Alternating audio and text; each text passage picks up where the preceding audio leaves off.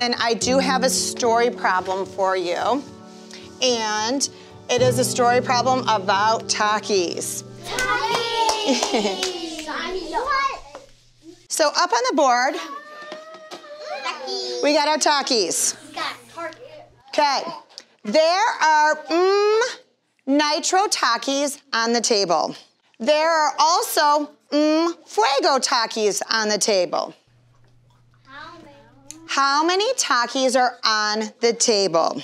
So, what's happening in this story?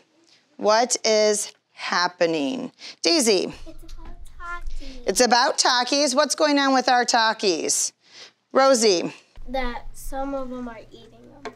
Eating them. someone might be eating them. Is there any eating them in our story? No. No. So maybe they're going to eat them, but they're not yet. It's.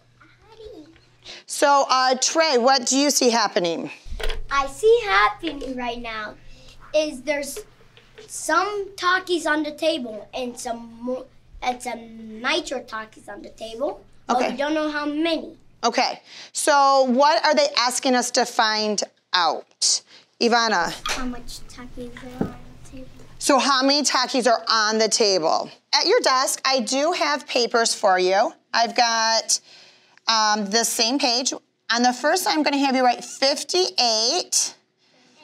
The second line, I'm going to have you write 36. Okay, so there are 58 nitro Takis on the table. There are also 36 fuego Takis on the table.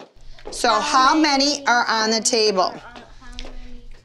If you look under on, on the bottom, There's space. there's space. So you can show your work. So you can show your work. What ways can we go ahead and show our work? Ivana, Um, number. I mean number line. a number line, Number block. number blocks. Trey, do you have a different strategy we haven't talked about? Is the one that we just did like a minute ago. Oh, like mental math strategies and write your thinking as you do the mental math? Okay, excellent. Um, so, boys and girls, I'm going to have you walk very carefully and get started.